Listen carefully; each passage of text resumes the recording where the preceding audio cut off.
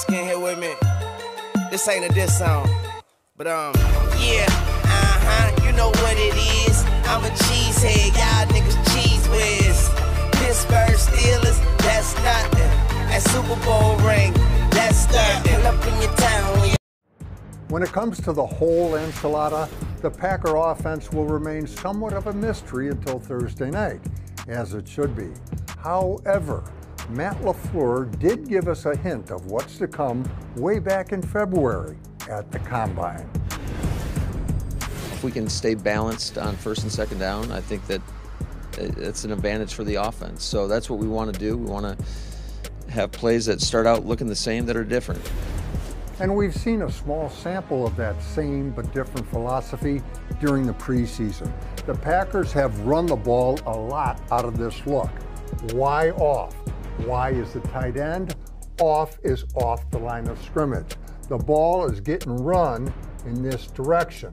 Watch Jace Sternberger. He comes across the formation and seals the backside with a cut block. Nice work. Meanwhile, on the front side, the Packers are grinding out a four yard run. Another play, but Sternberger once again is in that wide off look, and once again, he is moving across the formation. Backfield action in this direction again.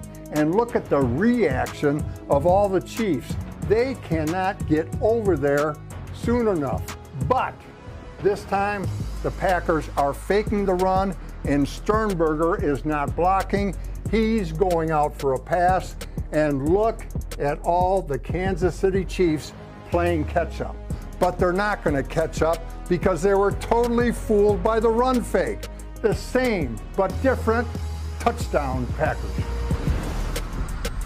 We ran that play a lot this week, you know, just trying to sell the sell the run, and uh, everybody's just doing their job. And so I feel like it was a pretty not easy touchdown, but I mean it was well executed. I mean, that's just how he works. Sternberger wide open, touchdown Green Bay. A Lambeau leap to the south end zone stands.